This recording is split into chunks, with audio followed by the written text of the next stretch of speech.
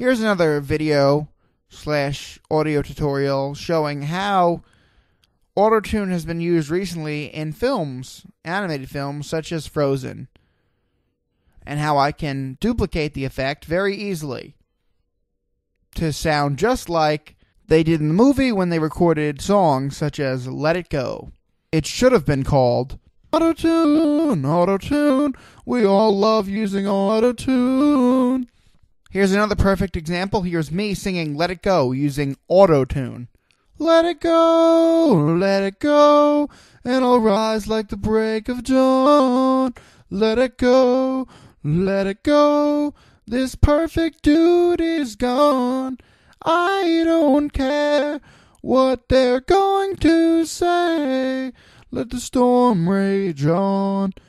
The cold never bothered me anyway. And there you go yeah, I, I know I didn't have the background music and all that crap and the, you know, whatever else they add. But you know what? That proves, once again, autotune used in a movie. Way overused. There you go. Be sure to like, comment, and subscribe.